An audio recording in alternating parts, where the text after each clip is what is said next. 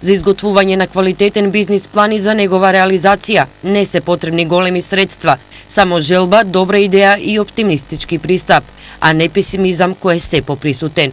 Секако и испитување на потребите на пазарот, дали има простор за разработување на одредена идеја. Но за тоа се потребни и одредени жртвувања.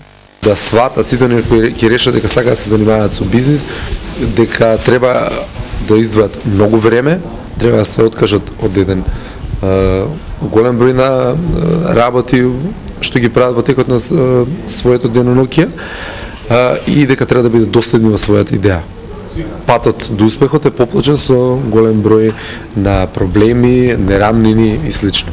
Да профункционира една бизнис идеја, односно бизнисот да започне да се исплаќа, потребен е период до 3 години. Значи не може да очекуваме дека ние преку ноќ ќе се збогатиме. Значи тоа е првата грешка што ја прават сите оние кои започнуваат со бизнис. Веруваат дека за 2-3 месеци они веќе ќе го исплатат инвестицијата и ќе може да си доза да си купат некој луксузен автомобил, саат или слични работи кои го прават него среќен. Работилниците за изготвување на бизнис план ќе се реализираат по региони во период од 5 викенда. Започнаа вчера во Штип, а заинтересираноста така кај младите е голема, вели Наташа Петкова, проект асистент. Очекувањата на организаторите се дека ќе произлезат квалитетни бизнис планови и успешни бизниси. Јас искрено се надевам дека од овие работилници пред се ќе произлезат квалитетни бизнис планови, дека ќе успееме да ги мотивираме младите и да ги стимулираме и да им ги разбиеме оние е, стравови и скептицизам кој што во глобала значи го има кај сите. А, исто така се надевам дека може би од тие бизнис планови ќе произлезат дури и по некој бизнис.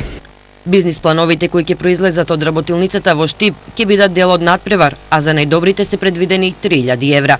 Наградниот фонд значи ќе биде распределен на повеќе бизнис планови секако во зависност од квалитетот на плановите и во зависност од потребите од секој план кој што ќе биде земен во предвид и оние кои што ќе бидат најквалитетни, најдобри, најреални, тие ќе ја подала таа награда.